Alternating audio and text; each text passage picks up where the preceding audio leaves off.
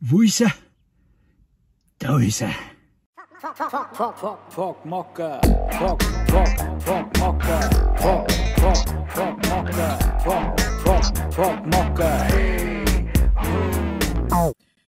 Bevor das Video losgeht, wollte ich euch noch was sagen. Und zwar der Ton ist scheinbar nicht besonders gut.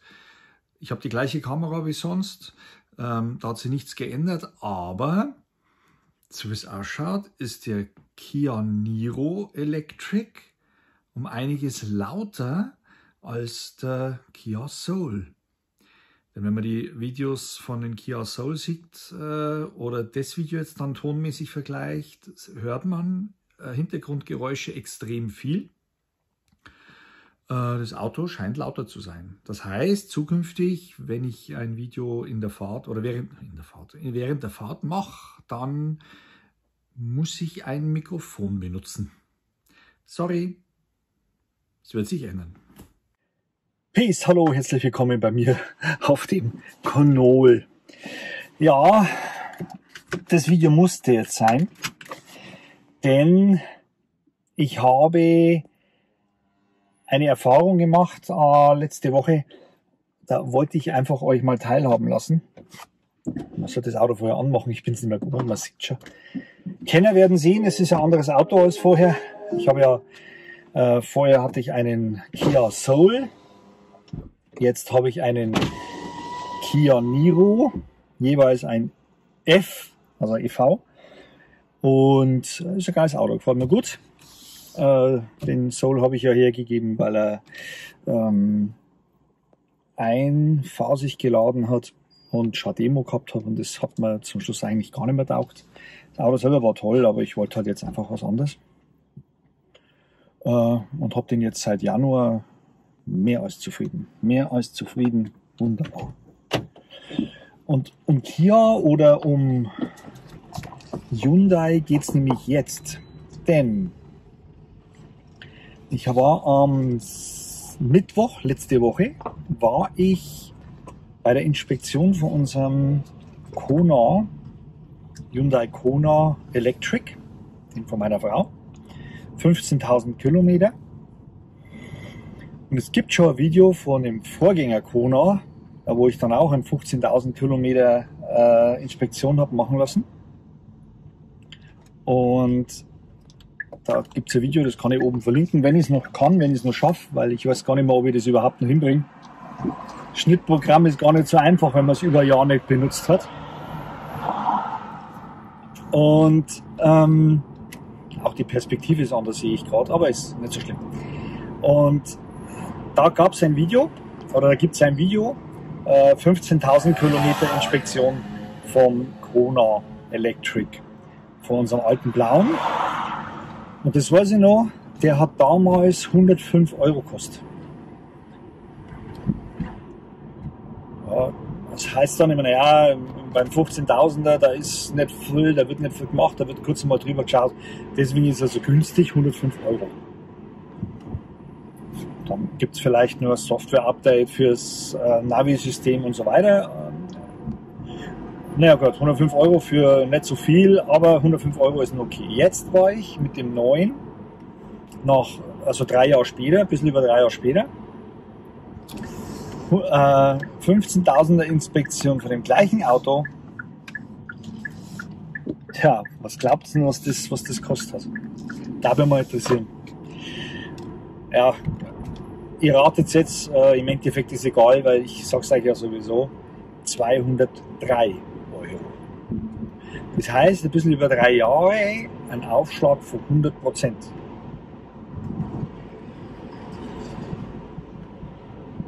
Das ist viel. Kamera wackelt, gell? Ah, muss ich anders einstellen. Ist egal. Das ist wirklich viel. 100, äh, ja, im Endeffekt 100 Prozent, über 200 Euro für eine Inspektion. Da muss ich jetzt nochmal zurückrufen, weil ich nicht einmal weiß, was genau gemacht worden ist. Haben jetzt ein Software-Update gemacht und so weiter. Ich habe nichts gekriegt, nur die Rechnung, da steht nichts drauf. Äh, da muss ich erst mal schauen, ob man da noch genaueres hinbringen. Und man wäre ja auch fragen, warum das so teuer sind. Alles ist teurer geworden, gerade in den letzten zwei Jahren, aber 100% teurer, das macht ja in drei Jahren 33% aus. Also so hoch habe ich die Inflation nicht äh, sonst nirgends gespürt, muss ich sagen. Ähm, und war interessant, weil ich nämlich dann äh, bei, ja, in dem, in dem, wie ich das Auto abgegeben habe, äh, habe ich dann ein bisschen Zeit gehabt und habe dann so, äh, so in dem, in dem Neuwagen Showroom habe ich mal ein wenig so geschaut und da ist ein Ionic 6 drin gestanden. Da. Jetzt kann man über den Ionic 6 denken, was man will. Technisch ist er sicherlich gut, bin ich mir ziemlich sicher. Ähm, qualitativ ist er sicherlich auch gut, wobei ich dann drin gesessen bin und die Seitenverkleidung von der Tür, das ist ein großes Kunststoffteil, das war, wenn man da hingeschlagen hat, schon echt wappelig, äh, weil es eine große Fläche war. Das war recht instabil. Und das kam mir jetzt nicht so hochwertig vor. Wie das Auto sonst ist, weiß ich nicht. Da könnte mal ein Ioniq 6 äh, Besitzer mal schreiben, was er von der, von der Qualität hält von dem Auto. Aber ich meine, er war gut ausgestattet, hat, glaube ich, eine, gibt es eine 77er Batterie dafür, 77 Kilowattstunden, glaube ich, äh, was ich so in Erinnerung gehabt habe, hat er gehabt. Und ansonsten hat er schon Vollausstattung gehabt, also Leder und Sitzbelüftung und, und, und. Und dann war es halt interessant, ähm, der Preis, der dann unten drin gestanden ist von dem Auto. Denn ähm, da waren 1750 Euro Herstellerbonus schon abgezogen und das Auto war halt immer noch für 65.000 Euro drin gestanden. 65.000 Euro.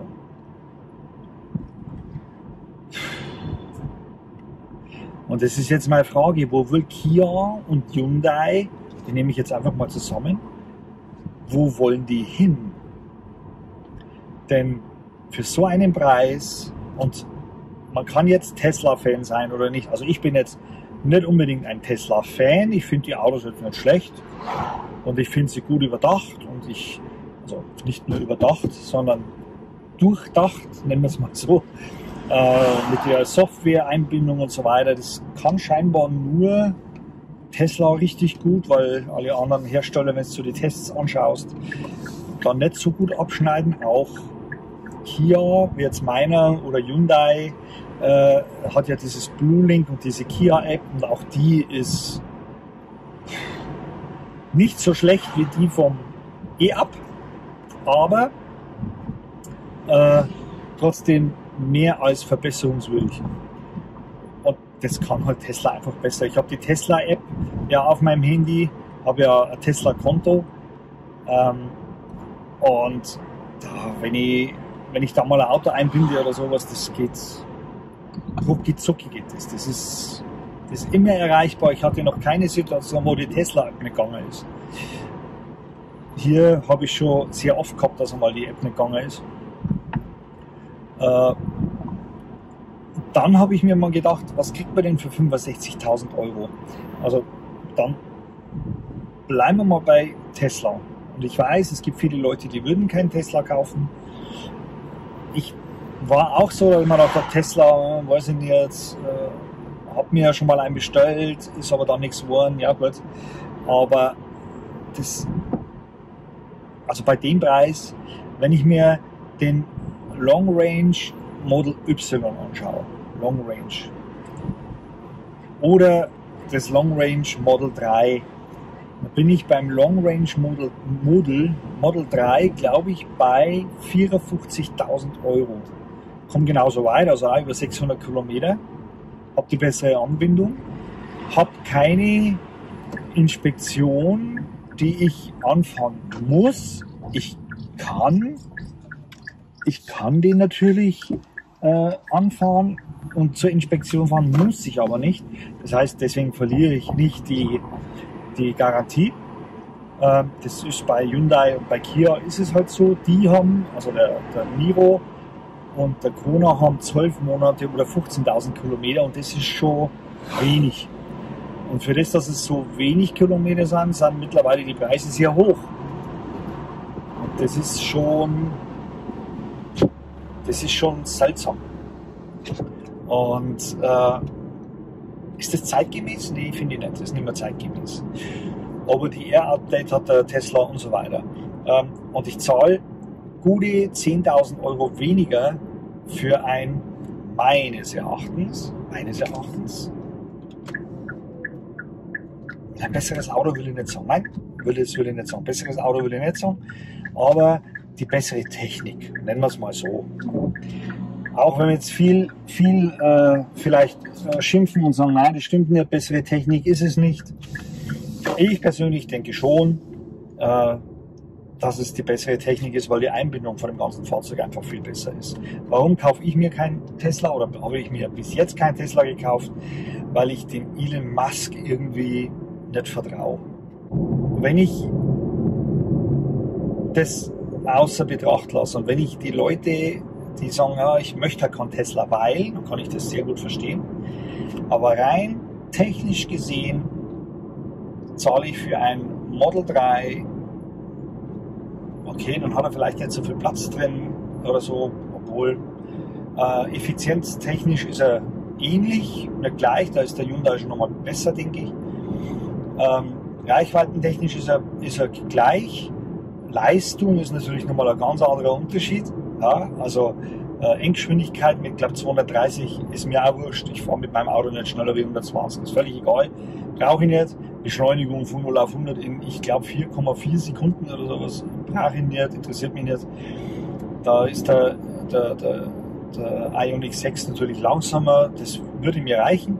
Aber auch wenn da einer Wert drauf liegt, also ich kriege das performantere und technisch neuere Auto für 10.000 Euro weniger, dann frage ich mich, wo Hyundai hin will.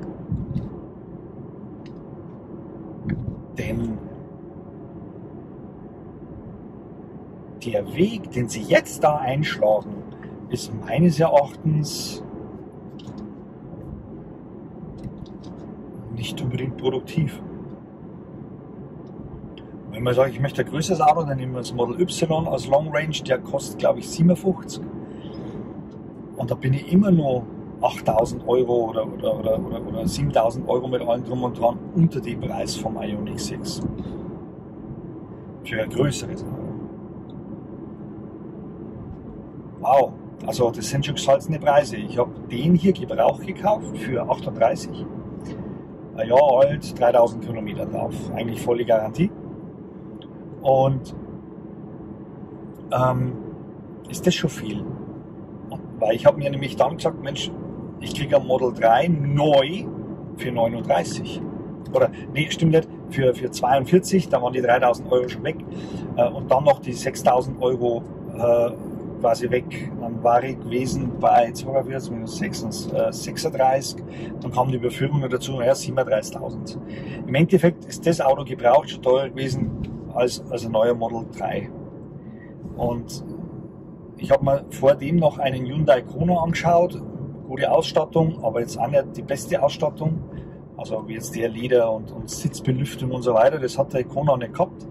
Hat aber 20.000 Kilometer in hellblau, in diesem Blau, ähm, mit 204 PS und der 64er Batterie drin, so wie der auch.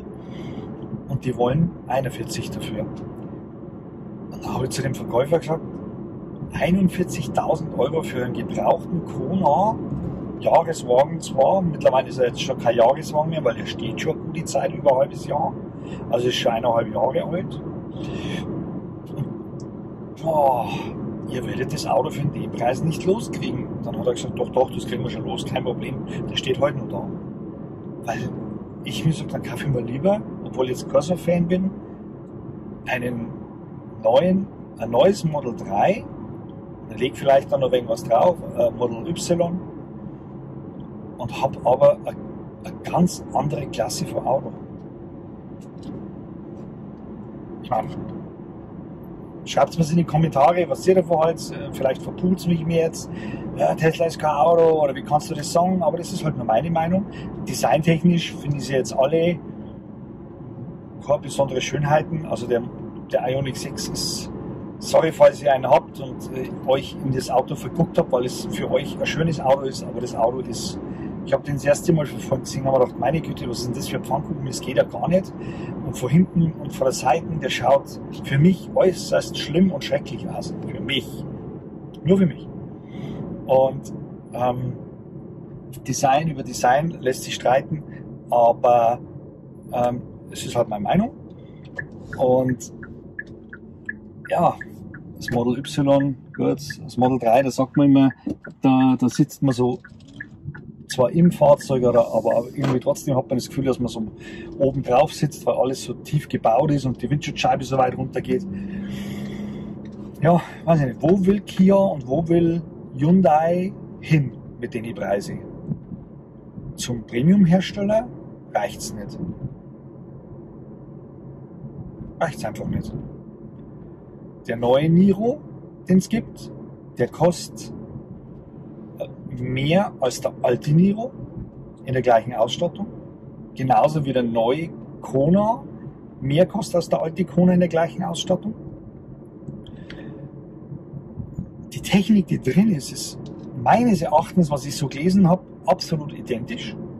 Die gleiche Batteriegröße, die gleiche Ladungsleistung, mm, die gleiche PS-Zahl und und und. Eigentlich alles das gleiche bloß halt moderner verpackt in einer modernen Karosserie und in der Innenausstattung auch moderner mit einem schönen großen Display, das leicht gewölbt ist und so weiter. Aber die Technik selber ist alt. Muss man einfach so sagen, die ist alt und da verlangen die wirklich viel Geld. Und wenn ich jetzt rechne, dass der neue Kona 48 kostet, dann muss ich mich echt fragen, wer kauft so ein Auto? Das müssen wirklich Leute sein, die einfach sagen, ich will keinen Tesla, weil, keine Ahnung, vielleicht die gleiche Meinung wie ich, ich vertraue den Elon Musk nicht. Aber, boah, für die Preise, alte Schwede, und von den deutschen Premium-Herstellern einmal ganz zu schweigen, die haben ja auch ganz schöne Preise. Da kann man jetzt natürlich sagen, ja, das, das ist gerechtfertigt, warum auch immer. Ähm, der ID3, ja, das ist ein anderes Thema, da habe ich mich jetzt nicht eingearbeitet, aber in das Thema habe ich mich eingearbeitet. Und deswegen denke ich mir, ulala, was ist da los? Wo gehen die Preise hin? Wo gehen die Preise hin? Klar wird alles teurer. Aber es hat immer geheißen, E-Autos werden günstiger, weil Batterien werden günstiger und so weiter. Aber wenn ich ein Auto für den Preis verkaufe und der Konkurrent hat ein besseres Paket geschnürt für deutlich, deutlich weniger, dann sehe ich selbst für Hyundai und für Kia zukunftstechnisch dunkel. Ich will nicht sagen schwarz, aber dunkel, weil jetzt kommen die Chinesen, die können wir jetzt mögen oder nicht. Ich möchte kein chinesisches Auto, weil ich nicht weiß, was das Auto in die Partei funkt, sage ich jetzt einmal übertrieben. Ähm, weiß ich nicht, vertraut man denen nicht, ja, hm, weiß ich nicht, die Autos sind sicherlich nicht schlecht, wie gut dass sie wirklich sind, wird sie in zwei, drei, vier, fünf Jahren zeigen. Bei Hyundai weiß man, in drei, vier, fünf Jahren, mein, mein Soul war sechs Jahre alt zum Schluss, ähm, der war immer noch erstklassig von der Verarbeitung, von der Leistung her, der hat batterietechnisch hat er nichts verloren und so weiter. Also das Auto ist für mich immer noch neuwertig gewesen, äh, Wie es bei den Chinesen wird, weiß man nicht, das wird man sehen. Aber wenn die noch stärker auf den Markt drängen, dann wird es selbst für, für Hyundai und Kia als ehemalige günstige Autohersteller wird schon schräg, also wird schon schwer. Schon wieder 20 Minuten gesprochen, ich wollte maximal eine Viertelstunde, sorry. Äh, ist keine fuckige Heimfahrt, äh, aber einfach mal wieder ein Thema, das mich einfach beschäftigt hat und ich euch damit äh, ein bisschen auf den Keks gehen wollte. Wer es bisher durchgehalten hat, Dankeschön. Äh, schreibt es in den Kommentaren, wie eure Meinung ist. Also sprich 15.000 Kilometer Inspektion für 200 Euro. Vor drei Jahren waren es nur 100 Euro. Und diese Preise, die jetzt aufgerufen werden für die Fahrzeuge, da muss meines Erachtens Kia schon was machen oder nicht. Aber vielleicht sehe ich das bloß so. Schreibt mal eure Kommentare unten in die Kommentare, ich meine natürlich eure Meinung in die Kommentare und man sieht uns. Äh, wieder und äh, man sieht sich wieder und vielleicht äh, demnächst wieder auf diesem Kanal. Servus, locker, euer.